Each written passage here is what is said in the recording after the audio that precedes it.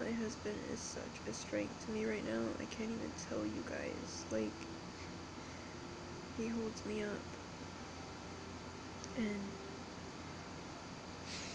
uh, he helps me, comforts me, talks to me, encourages me, holds me, wipes my tears, prays for me, prays over me, with me.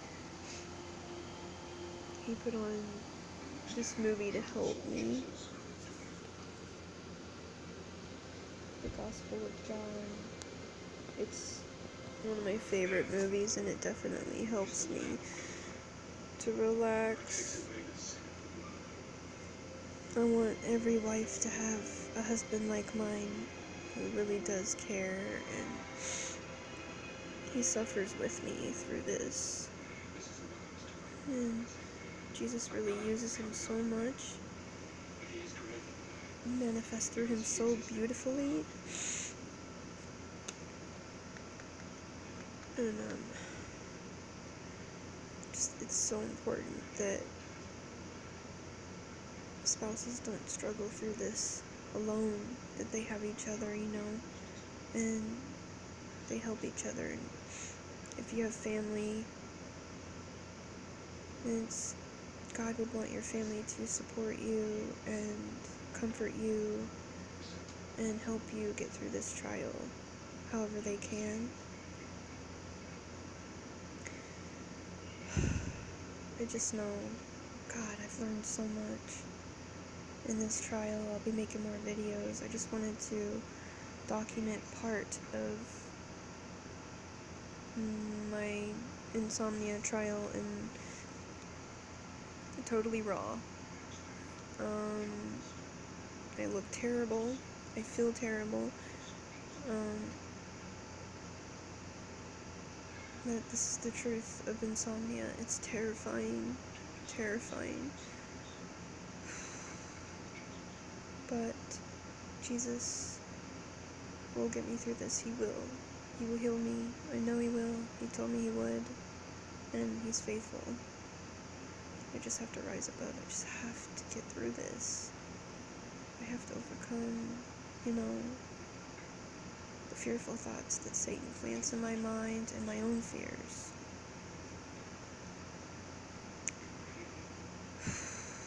Anyways, I just wanted to show you guys part of what I'm struggling with right now.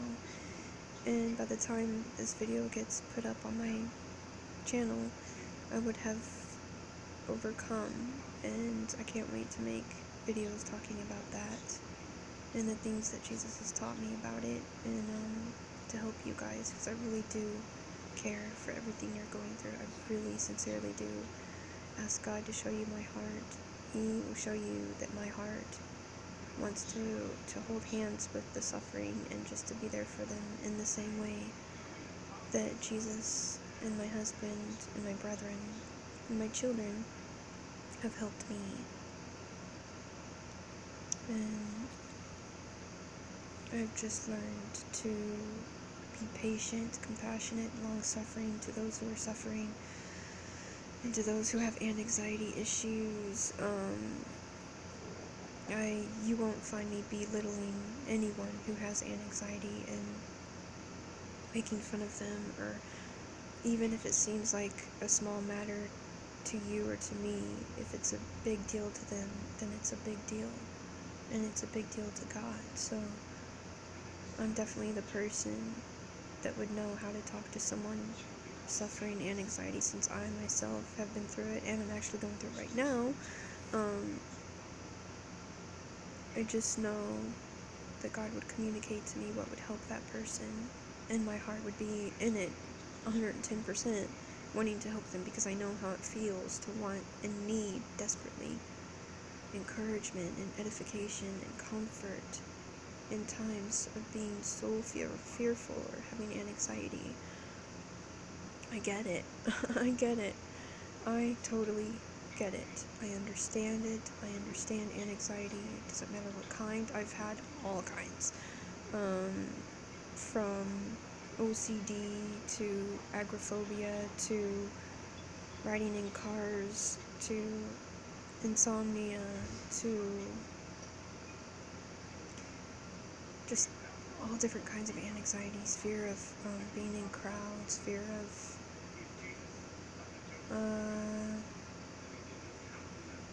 just fears of all kinds of stuff. I have lived through it. I understand it perfectly. And it's both spiritual and physical and mental. And sometimes it's um, medical. Like, like if if you're sick, you know. Um,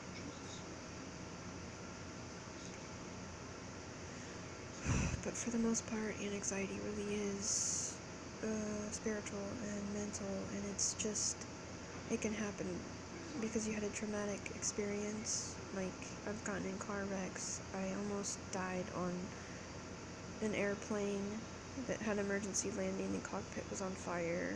I um, was in a car that rolled several times. I was in several wrecks where it totaled the car.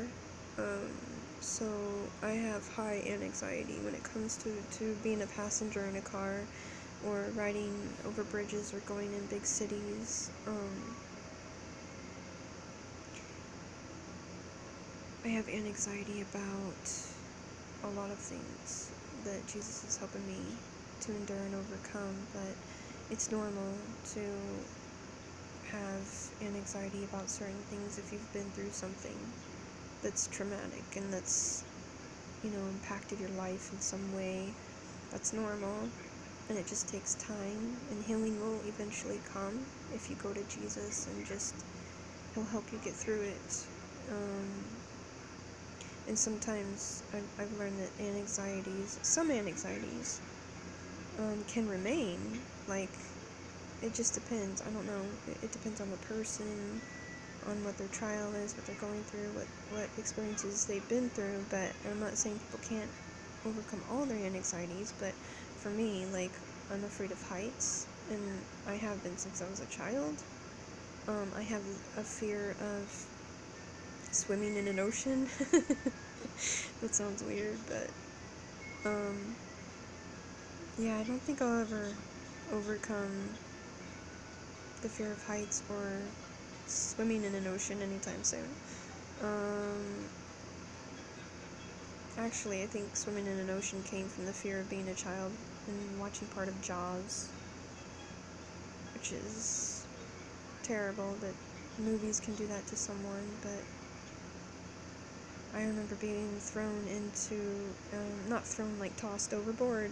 My parents didn't toss me overboard, but they put me in a, a little children's floaty, and we were in like a man-made lake, and we were camping and stuff, and I felt something swimming by my feet, so that's why I'm I'm scared of swimming in lakes, or even the thought of swimming in an ocean terrifies me, because there's a whole world in the water that you know, that's there that I haven't explored and know that's there.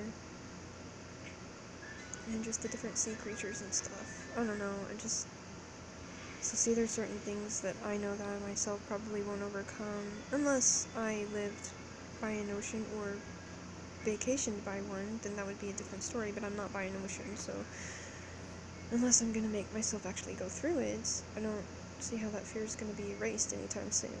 Um, but with even that being said, I have been in airplanes and sat in trees and, you know, just been in tall buildings and stuff.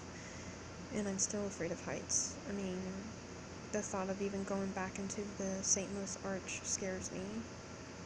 I've been in it so many times, but I get a panic attack anytime, you know, we would go in it, and then even elevators scare me. So I just have all these different anxieties because of different experiences as in my life. Like I got stuck in an elevator once, and I couldn't get out. Um, it was halfway; you could see half the floors, and I was like yelling, like "Help me get out of here!" And finally, they got me out. But I'm just things like that would happen. I've had so many weird things like that happen to me, and yeah, it causes anxiety. It's not fun, Does it make it easy. And people really won't understand the things that you suffer if they haven't been through it themselves, but those who love you, those who genuinely care about you and want to help you, will learn to understand that it's a fear to you, and they'll learn how to treat you and how to comfort you in those times as best as they possibly can. So that's why it's so important that you have family and or a close friend or a spouse that you trust that God has built the friendship or relationship. And you know if, if you have a friend um, that's a good wholesome friend and, and God leads you to, to to be around this person you know and you don't have family or a spouse then at least you have, would have a friend to talk to. But you can always talk to Jesus he's the best friend there is and my husband is just like God, He's the best there is, too. It's just, I, I just know that people, they can overcome so much more and be strengthened um, so much more and have the will to fight, you know, if they have a supportive team around them, someone that's encouraging them and uplifting them and holding them up and long suffering with them. And you know of course jesus is that friend that that is there to anyone who calls out to him. But it's good to have um, family and, and just people who really come together to help each other get through the hard trials of life because that's what this life is about. It's about love. It's about growing through the trials and afflictions together. At least that's that's what god's people learn to do and you learn your own strengths by each trial you go through. So I know at the end of this trial, there's going to be so much, um, so much more strength in me than I gave my credit, myself credit for, and, and there'll be new strengths, new wisdom, and things where I can help people. So there's always something good. There's always something good. Thank you, Jesus. There's always something good in every trial. And it's not just one lesson, it's always many, many, many. I learn many lessons. And it just brings me that much more closer to God and my husband and my family and to the suffering hearts and lonely hearts of those in the world. Just wanted to touch base a little bit. Um, just kind of talk however Jesus would lead me to talk right now and I pray that He uses this video to help you guys um, trust Him, talk to Him, cry out to Him, just be totally real, raw, honest. Like, I have wailed before God so many times in this trial and just had my own complaints. Um, and then I would learn things about my heart. Like, I learned something new in every like in every day going through this trial, I've learned something new, so God's using it. Um, and then He has compassion on me at the same time and suffers with me, and is, He's ready for me to endure and get through this just as much as I am. So He's a good guy. You can trust Him always, always, always focus on the victories, even the small things that will help you get through. You know, focus on what good came in each day and don't look back.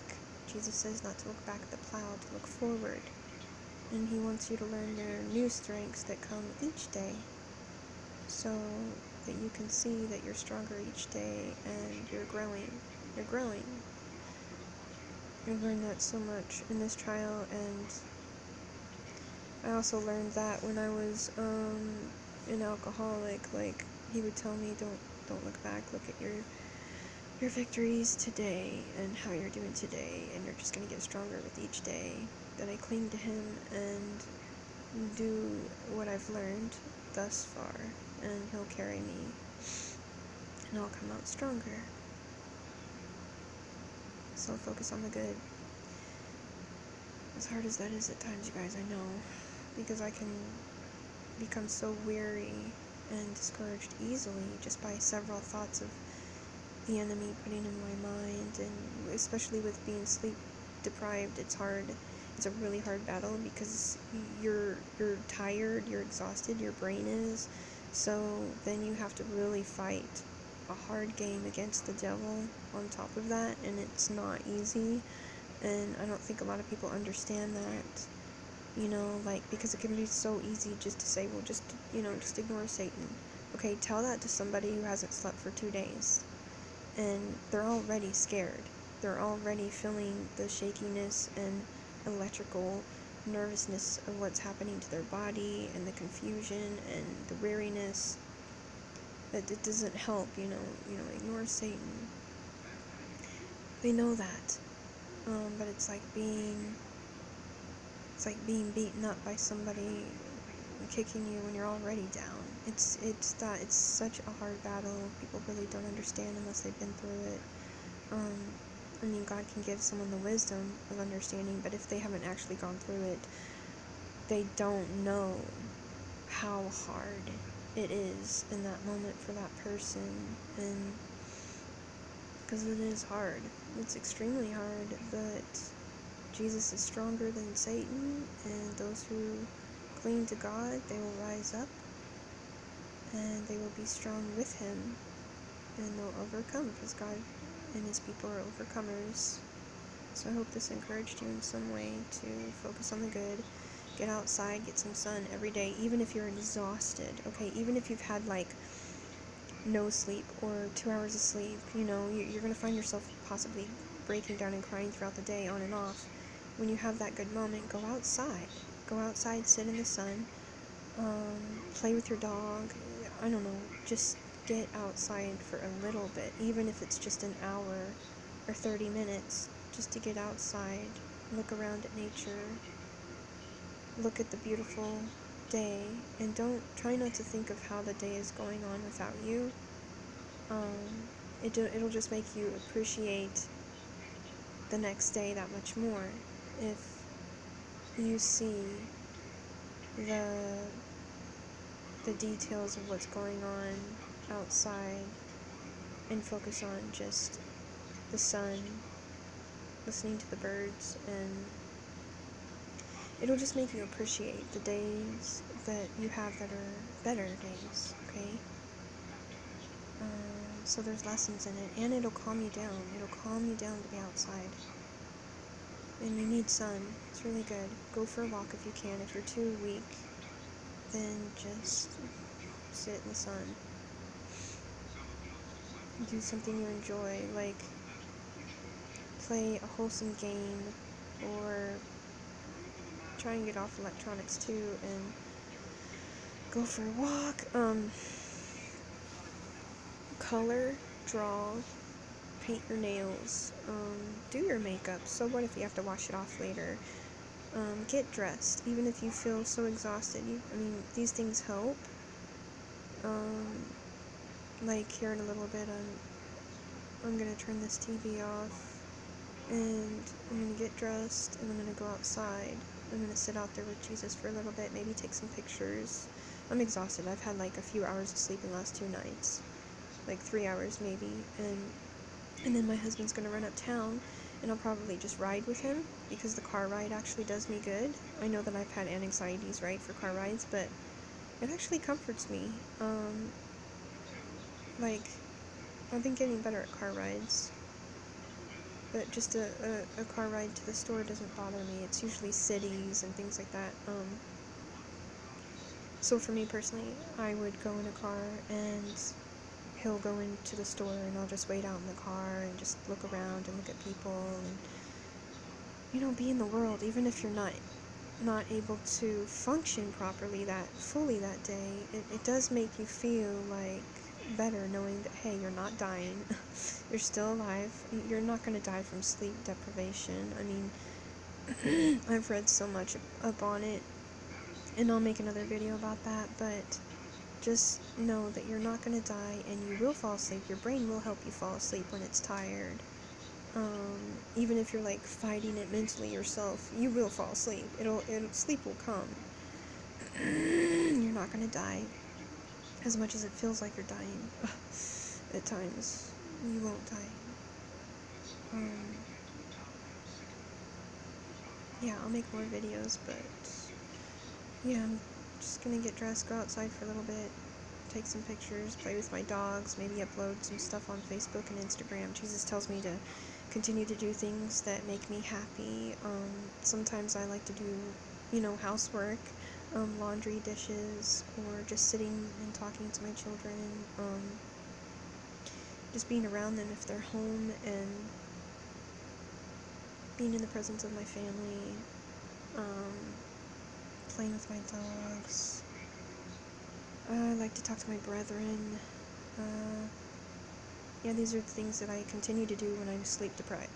And I will have moments where I break down and cry, but Jesus gives me the peace again to get back up and to get strengthened and to reassure me that I will sleep.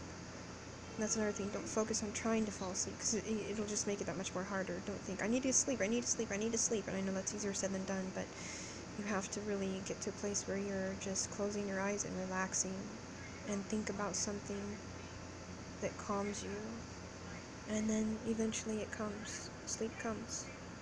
I love you guys.